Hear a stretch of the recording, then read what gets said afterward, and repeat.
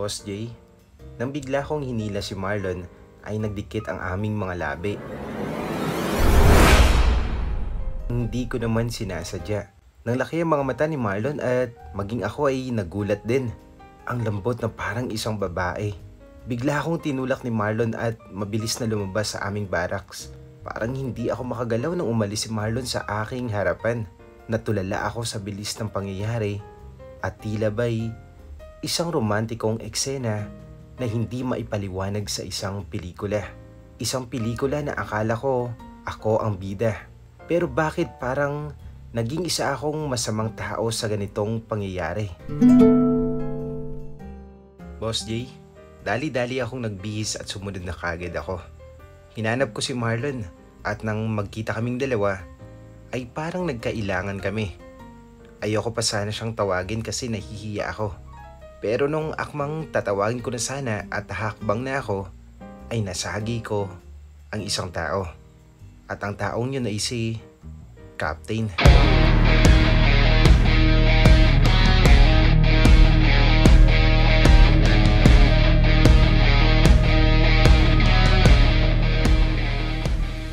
Mabilis akong humingi ng tawad sa kanya at nakayuko ang aking ulo. Sobrang nahihiya ako sa aking nagawa. Nako, sorry po. Sorry po talaga, sir. O, Alan. Wala ka bang kasamang kumain? Ah, sir? Wala po, sir eh. Sir, sorry po ulit eh. Ayos lang, Alan. Tara, sabay ka na lang sa akin kumain. Talaga po? Okay lang po ba sa inyo? Baka po nakakahiya. Hindi, okay lang yun. Ano ka ba? Tara, kumuha ka na ng plato mo at sumabay ka na sa akin. Ah, sige sir. Tara na. Masarap ang ulam dito ngayon. Eto, subukan mo to. Huwag kang mahiya. Opo sir, opo sir. Boss Jay, nakatulala lamang ako sa kanya habang nagsasalita siya. Yung tinuturo niya yung mga ulam na sinasabi niyang masarap. Parang ibang tao si Captain ngayon. Hindi ako makapaniwala. Boss Jay, mas lalo talaga akong nahiya nung niyaya ako ni Captain Roger na sumabay sa kanya sa pagkain. No choice naman talaga ako eh. Tsaka hindi naman ako bastos para tanggihan siya sa kanyang paanyaya sa akin na kumain. Kaya sumabay na lamang din ako sa kanya sa pagkuha ng pagkain at hanggang sa table ay sinamahan ko siya. By the way, siya pala si Captain Roger. Halos magkasing tangkad lang naman kami, pero mas malaki ang pangangatawan niya at isang magandang lalaki na habulin ng mga babae. Siyempre, lalo na ng mga binabae. Paano ba naman ay ang lakas ng kanyang apil na lalong nakakapangina sa kung sino man ang makakakita sa kanya. Kahit sabihin mong 36 years old na siya, ay hindi halata sa mukha niya na ganun ang bilang ng kanyang edad. Inaamin ko, Boss Jay. Kahit nga ako, ay parang pinagpapantasyahan ko siya noon. Pero ngayon, kasama ko ng kumain sa iisang lamesa. At siya pa mismo ang nag-alok sa akin. At isa yung magandang pagkakataon na mapalapit din ako sa kanya. Boss Jay, magkasabay kami ni Captain na kumain sa iisang lamesa. Nakakahiya kasi nakatingin ng ibang mga sundalo sa amin. Mas nakakailang pala to kaysa sa pagkailang namin ni Marlon kanila lang. At habang kumakain ay kinakausap pa ako ni Captain. Siyempre, kahit kabado ako, ay kailangan kong sumagot sa kanya. First time kong nakausap kasi si Captain ng medyo matagal at yung tipong parang tropa lang kami mga sir. Pero habang kinakausap niya ako, ay medyo nawawala na ang kaba ko. Hindi na kagaya ng dati. Kung iisipin mo kasi, makakausap mo lamang siya pagtungkol sa trabaho o kaya sa mga trainings at mga report. At take note mga sir ah, seryoso yun pag nakaharap sa kanya. Pero ngayon, parang barkada lang kami. Nagulat talaga ako sa kanya. Okay na okay siyang kausap, may sense pa, at sobrang bait niya. Sa kalagitnaan ng aming pag-uusap ay bigla akong napalingon sa paligid at nakita kong nakatingin si Marlon sa akin. Seryoso ang mukha niya at hindi ko mawari kung galit ba talaga siya sa akin dahil sa nangyaring hindi sinasadyang dumampi ang labi niya sa akin. O dahil Baka hindi ako humingi kaagad ng sorry sa kanya. Kaya inilihis ko na lamang ang aking tingin sa ibang direksyon at pabalik sa tingin kay Captain. Tsaka kumain na lang ako at habang magkausap kami ni Captain.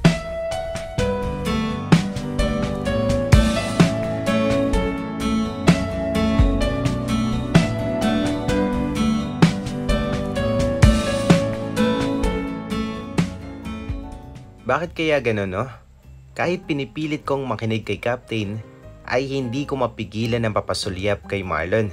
At sa pangalawang pagkakataon ay nakatingin pa din siya sa akin. Ganun pa din siya. Mukhang galit pa rin siya mga sir. Ang kanyang mukha ay nakadiretso ang tingin sa akin. Magkasalubong ang mga kilay niya. Hindi ko pa rin mawari mga sir kung bakit ganun. Galit na galit na ba talaga siya sa akin? Parang gusto ko na talaga siyang kausapin sana. Kaso hindi ko naman maiwan si Captain. Nakakahiya naman kasi kung bigla ko na lang siyang iwan sa kalagitnaan ng kanyang paanyaya sa akin na bihirang mangyari sa sino mang ordinaryong sundalo dito sa kampo. Nang matapos na kaming kumain ay niyaya ako ni Captain na maglakad-lakad sa labas. Pampatunaw daw ng kinain. Mas okay daw yun kesa umupo na lang pagkatapos kumain. At doon, bigla ako na namang naalala si Marlon. Parehas na parehas sila ng sinabi ni Captain. Bigla ako ng lungkot ng mga oras na yun. Dapat si Marlon ang kasama kong maglakad-lakad. Kasi nangako ako sa kanya kanina.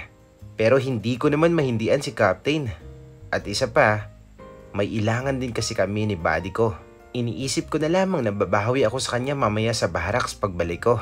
Kakausapin ko siya pag nagkita na kaming dalawa. Gusto ko din kasing malaman kung galit ba talaga siya sa akin dahil sa nangyari sa amin kanina. At gustong gusto kong magsorry sa kanya na hindi ko talaga sinasadya ang nangyari sa amin kanina. Alam mo, Boss Jay, ang daming naikwento sa akin ni Captain tungkol dito sa kampo. Mga nangyayaring maganda at hindi maganda. Lalo na pag may mga Nakaka-engkwentrong mga sibilyan ng mga sundalo. Nakakalungkot lang makinig sa mga kwento niya. Masakit pakinggan. Lalo na pag may mga nasasaktan ng mga sundalo o kahit ng mga kalaban. Siyempre tao lang din naman sila. Katulad natin. Yun nga lang ay may mga pinaglalaban sila. Sa kabilang banda ay naiintindihan ko ang mga hinanaing ng mga sibilyan sa kanilang pinaglalaban. Minsan kasi tama naman sila. Pero wala tayong magagawa kasi simulat sa pool ay mortal nang magkaaway ang magkabilang panig.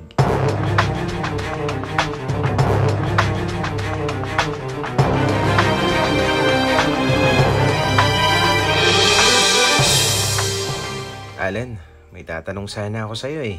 Ano yung itatanong mo sa akin, sir? Kamusta ka dito sa kampo? Ako po?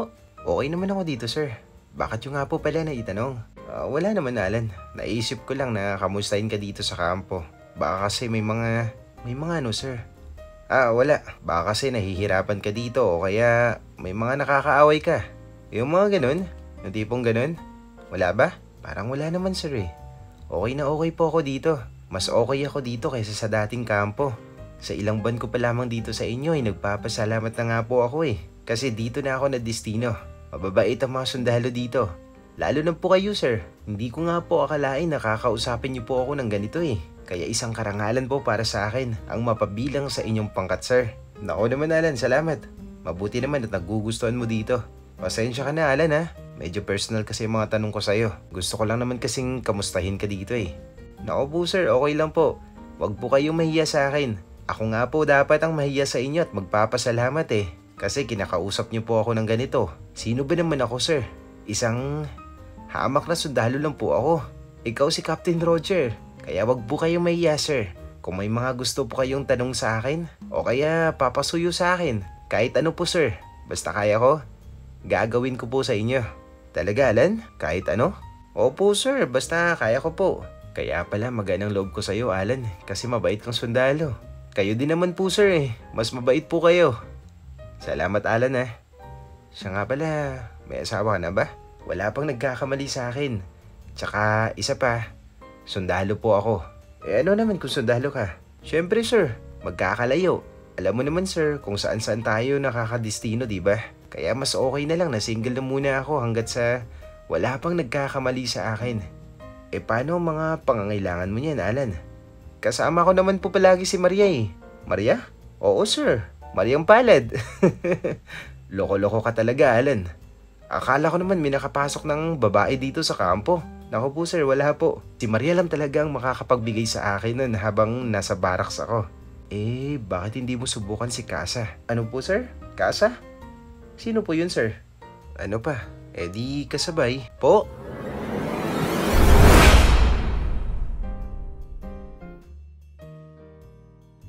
Boss Jay, mahina talaga ang utak ko. Ako ang unang nagbitaw ng biro pero bakit hindi ko kaagad na gets ang sinabi ni Captain? Ang slow ko talaga. Sobrang nagulat talaga ako sa mga sinabi ni Captain sa akin katulad ng kasa. Yun pala, kasabay. Ibig sabihin nun ay meron siyang pinapahiwatig sa akin. Hindi ako makasagot ng maayos sa kanyang malaseryosong pabiro sa akin. Nakatingin sa aking mga mata ng diretsyo na parang nanginginig ako kapag nakatitig ako sa kanya. Parang hindi ko alam kung ano ang aking sasabihin sa kanya. Papatulan ko ba ang mga sinabi ni Captain sa akin? O magmamaang maangan na lang ako sa kanya? Napalingon ako sa paligid at nakikita kong malayo naman ang ibang mga sundalo at wala namang nakatingin sa amin habang nakaupo kami sa ilalim ng mangga. Hindi ko po maintindihan kung anong ibig niyong sabihin, sir. Hindi mo ba alam yun, Alan? Eh, hindi ko po siguro naiintindihan, sir. Ano po ba yun? Kasabay, para naman hindi ka nag-iisa at hindi naman magsawa yung Maria mo. Ka, kasabay? As in, may, ka, may magiging kasabay ako? Pero sino naman sir? Wala namang babae dito, di ba? Oo nga, walang babae dito. Kaya nga si Kasa ang tutulong sa'yo.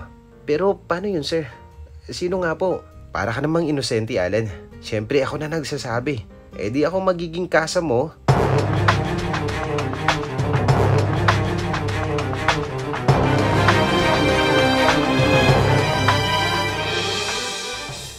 Shh, huwag kang maingay. Atin-atin lang to.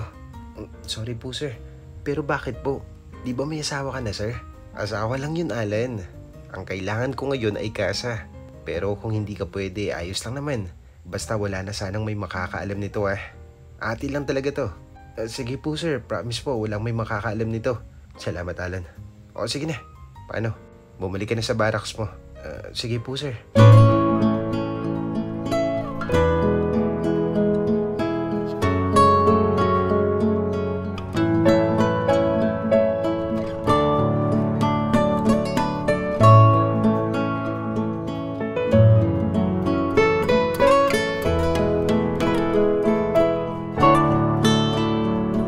Tumalikod si Captain at naglakad paalis habang tinitingnan ko siyang papalayo sa akin. Napapaisip ako kung papayag ba ako sa gusto niya. Pero bigla akong napagtanto na kung hindi ko susubukan to, ay baka hindi na to maulit pa ang paanyaya ni Captain sa akin. Dali-dali ko siyang hinabol para kausapin siya ulit tungkol sa kanyang sinasabi sa akin. Sir, Teka lang. O bakit, Alan? Papayag na po ako.